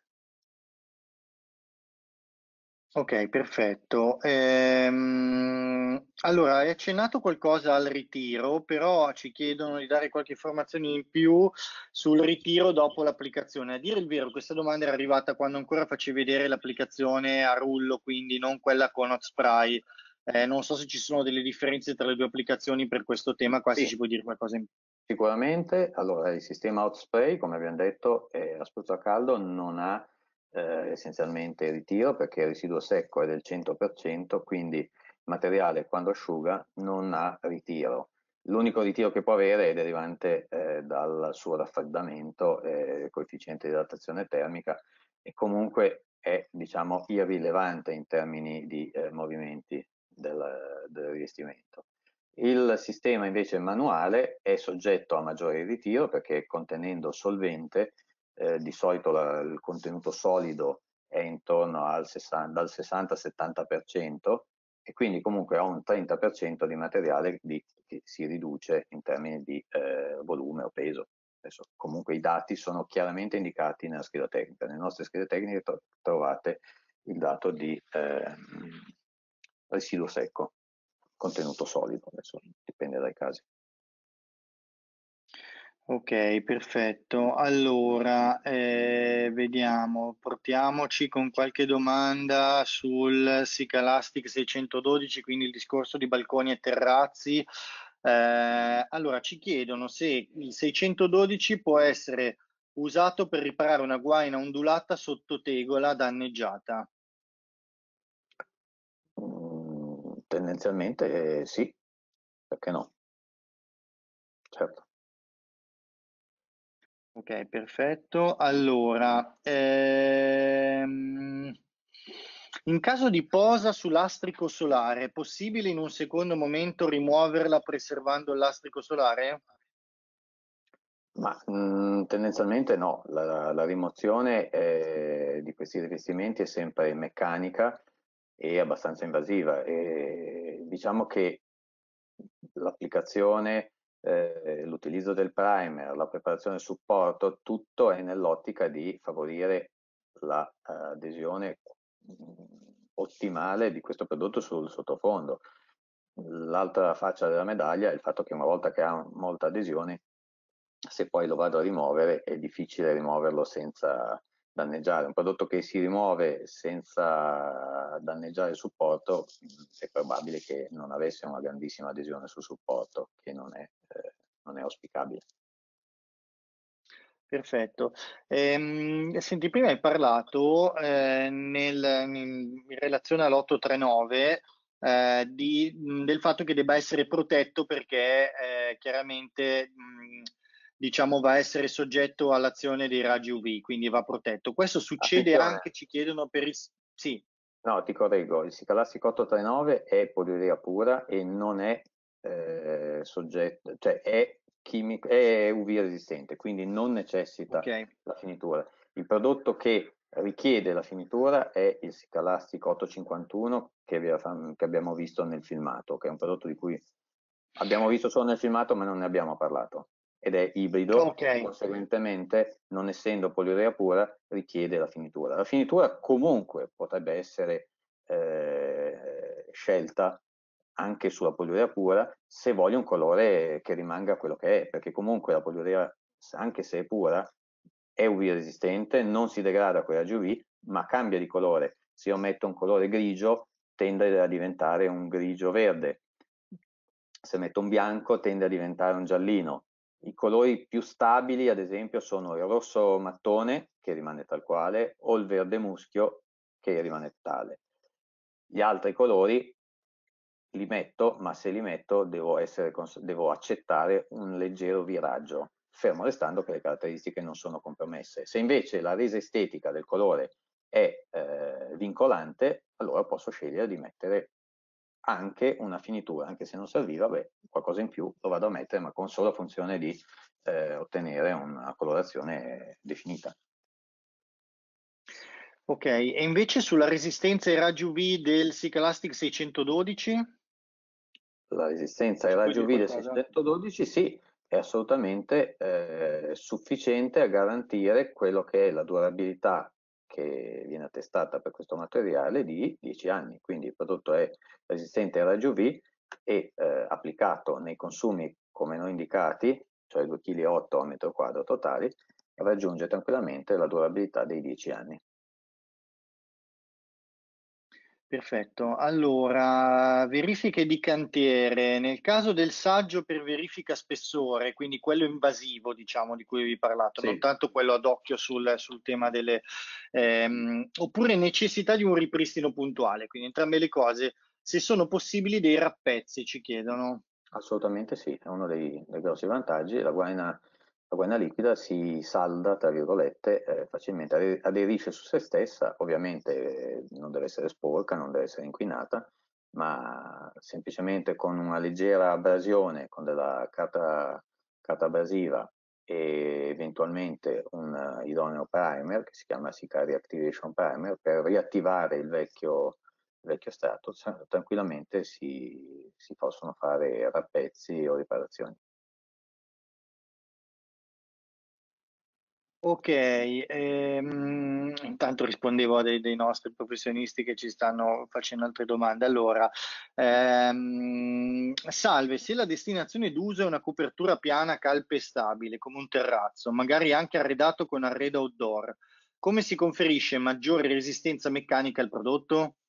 Allora, il prodotto non è, come abbiamo detto, non è idoneo ad essere direttamente esposto all'abrasione eh, l'abrasione e il pedonamento lo tollera senza problemi se eh, orientato alla manutenzione, quindi eh, noi lo, lo definiamo come ispezionabile, quindi eh, il concetto tante volte mi richiedono ma quante volte ci posso salire? Salici quante volte vuoi, certo che se scopro che eh, ci sono i tavoli e seggiolini, non è, non è solo ispezionabile, ma è completamente vivibile e non è un'applicazione ammessa. Mentre invece salirci per manutenzione quante volte ci salgo su un tetto, a dire tanto una volta alla settimana, ecco, quello non è assolutamente critico per il rivestimento. Se invece voglio rendere il mio rivestimento direttamente vivibile, ci posso incollare, come abbiamo visto, sopra le mattonelle delle nuove piastrelle sul 612 e a quel punto poi sulle piastrelle ci cammino senza problemi. L'unico accorgimento è che la posa sotto piastrella è ammessa solo se il Sicalassi 612 è applicato su un supporto incomprimibile, non su guaina bituminosa. Questo è un accorgimento. Nel senso che eh, il concetto è la guaina bituminosa sul tetto d'estate col caldo diventa molliccia, se io poi lì sopra c'è anche incollato delle piastrelle, la cosa più facile è che quando le piastrelle puntano e si muovono, eh, il 612 venga tra virgolette, staccato dalla, dalla guaina molliccia e, e, non vada bene. Quindi l'applicazione sotto piastrella dei Sicassi 612 è fattibile, ma solo su supporti eh, solidi, non comprimibili. Perfetto, ancora un paio di domande poi andiamo a chiudere. Eh, allora, ci chiedono il taglio delle latte eh, riferito al 612 perché chiaramente avevi parlato di, eh, già di 200 litri se non sbaglio per il bicomponente eh, da utilizzare nell'hot spray. Eh, quantità minima e quantità massima anche per fare quel sistema di verifica eh, sul campo avevi, di cui hai parlato fondamentalmente. Beh, allora il Siclassi 612 è fornito in uh, diverse taglie, eh, mi sembra, adesso non me lo ricordo nel dettaglio, mi sembra che sia 21 kg eh, e la... Allora, adesso non me lo ricordo esattamente. Eh, facciamo, c'è questi, questa informazione, immagino che... Ah, perfetto, stai lo stai recuperando. Ehm, ok, intanto vedo di selezionare l'ultima domanda. Da 7 kg e da 21 kg. 7,1 kg e 21,3 kg. Perfetto, perfetto. Allora, l'ultima domanda, eh, poi le altre mi scuso ma le giriamo all'azienda, come si sostituiscono le guaine liquide? Quindi a, a fine vita, diciamo, a fine del, del periodo ehm, indicato, come vado a sostituire le guaine? Eh, come dicevo, come ho detto durante la presentazione, dipende, eh, dipende con cosa voglio sostituirla, nel senso che se la sostituisco con la guaina liquida vado a ripristinarla, non devo fare nulla, semplicemente faccio un idrolavaggio, la metto in sicurezza, cioè sano le lesioni, le irregolarità, i buchi, faccio delle pezze se ci sono dei tagli, eccetera, e poi con, dopo un semplice idrolavaggio mh, mm, e l'applicazione di un uh, idoneo primer, che si chiama proprio Reactivation Primer, per riattivare la vecchia guaina, ci vado sopra direttamente. Se invece voglio proprio rimuoverla, eh, la rimozione è tassativamente meccanica. Perfetto, allora ehm, è arrivato il momento dei ringraziamenti, come dico sempre quando arrivano in chat, grazie, complimenti, eh, siete stati esaurienti, eccetera, vuol dire che è arrivata l'ora di andare a conclusione con il nostro appuntamento. Io, come dico sempre, negli ultimi 20 minuti vado un po' a naso e vedo com'è la risposta del pubblico. Finché ci sono domande, bene, quando arrivano i ringraziamenti è ora di chiudere, diciamola così, Michele. Quindi io ti ringrazio, ti ringrazio per questa tua disponibilità e mi aggiungo ai complimenti che fanno i nostri eh, professionisti che ci stanno seguendo. Eh, rassicuro tutti perché eh, rispetto a tante altre volte qua ci sono veramente state delle domande di caso per caso che non ho fatto, ma come ho, come ho detto più volte le giriamo all'azienda di modo che possa darvi una risposta nei prossimi giorni. Eh, chi ci chiede le slide, anche queste vi verranno inviate eh, via posta elettronica nell'arco di un paio d'ore le ricevete automaticamente. Poi, come è successo per altri che magari si sono persi la mail, eccetera, se partecipano ai nostri prossimi eh, webinar della, della SICA Web Academy, me li chiedete, sono in grado anche di girarveli in tempo reale. Il video anche, oggi ci hanno richiesto molto dove ritrovare questi eh, questi video, queste registrazioni per poterle rivedere sul canale YouTube di Sica Italia a partire ormai dalla prossima settimana, quindi il tempo tecnico di poterli caricare, ma dalla prossima settimana vedo che siamo comunque in pari con quello che è stato caricato sul loro, eh, sul loro, sulla loro account, insomma, sulla loro, loro pagina su YouTube, quindi ehm, dalla prossima settimana troverete tutto. Io vi invito eh, all'appuntamento del 13 maggio, quindi la prossima settimana, mercoledì mattina, sempre orario 11-12, anche se poi andiamo sempre ben oltre, dedicato alle pavimentazioni nell'industria del food and beverage, sistemi di ricostruzione e protezione.